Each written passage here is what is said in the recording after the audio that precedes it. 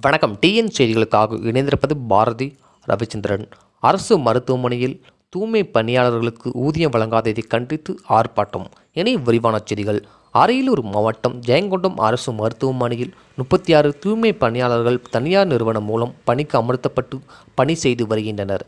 முன்பிருந்த தனியார் நிறுவனம் சில மாதங்களுக்கு முன்பு வேறொரு தனியார் நிறுவனத்திடம் ஒப்படைத்துவிட்டது. அரசு மருத்துவமனையில் பணி அமர்த்தப்பட்டு பணி செய்து வருகின்றனர். இவர்களுக்கு ஏப்ரல் மாதம் ஊதியம் வழங்காததை கண்டித்து பணிக்கு செல்லாமல் வேலையை புறக்கணித்து மருத்துவமனை வேலையில் நின்று போராட்டத்தில் ஈடுபட்டதுடன் அவர்களது நிறுவனத்தின் வானத்தை மறித்து போராட்டத்தில் ஈடுபட்டனர்.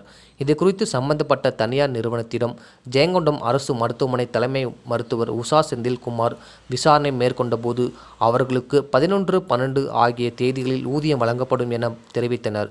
போராட்டக்காரர்கள் போராட்டத்தை கைவிட்டு பணிக்கு திரும்பினர். இதனால் அங்கு சிறிது நேரம் பரபரப்பு ஏற்பட்டது.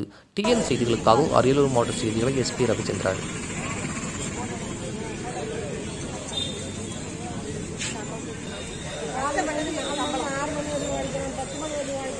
போய் தான் கவர்மெண்ட் எடுத்துக்க ஏழை மக்கள் படத்தை எல்லாத்தையும் வாங்கணும் ஆனா கவர்மெண்ட் ஆறாயிரம் சம்பளத்துக்கு நாயா பேய நாங்க அலையிறோம் அது மாதிரி தான் இந்த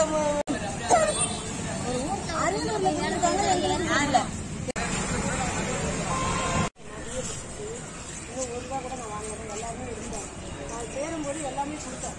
ஆதார் என்னென்ன கொடுத்து கேட்டாங்களோ அது எல்லாமே கொடுத்தேன்.